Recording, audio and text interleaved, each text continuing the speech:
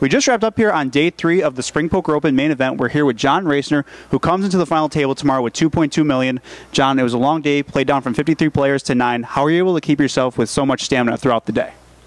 Well, uh, you know, we played 14 hours a day, 14 hours yesterday. Um, just been doing this day in and day out for 10 plus years now. Um, I have a lot of experience and. Uh, I just feel like I, I take care of my body well. You know, I eat good, I work out, so I just feel like that longevity is there. I have it more than the other guys. And tomorrow marks a chance for you to take down a major title. Obviously, you finished second in the main event back in 2010. We still don't have that major trophy on your mantle, so to speak. Once you have that main event victory, so to speak, because of how much money it was worth, do you still feel the need to want to get that major victory, or is it just kind of smooth sailing at this point, given how much you've already achieved?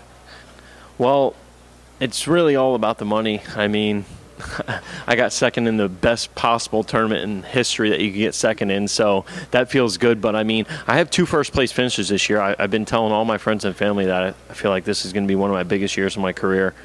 Um, my goal going into this year was like get some first places, you know, because I don't really have many of those. So um, I would love to win one of these. I mean, a WPT and a World Series of Poker bracelet are like my top dreams and goals, but you know this is right behind it. This would be awesome, and I love the Borgata. It's my favorite place to play. I've been telling everybody that since I started playing poker when I was 21. I love coming here.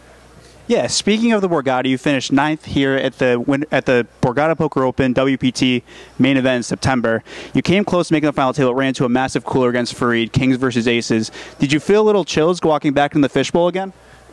yeah, like right when I get into the salon over there, I just that's all I could think about. Like I still feel like that I got robbed of money in that tournament. Like it was so brutal. I mean, nine left. I think I was in second in chips and he was in third, and we had a lot of history. And he's the most aggressive person on the planet. And I get kings and he gets aces. And I just tell all my friends and family if they just dump me nine deuce offsuit the rest of that tournament, I probably would have got at least top four for you know a couple hundred thousand. So I just feel like I got so robbed out of so much money. But you know it is what it is. It's part of the game, and uh, I plan on redeeming myself tomorrow. Well, tomorrow is a great chance for redemption. A lot of great players, but you certainly have a lot of experience. We wish you the best, John, and thank you for joining us. Yeah, no problem. Thank you.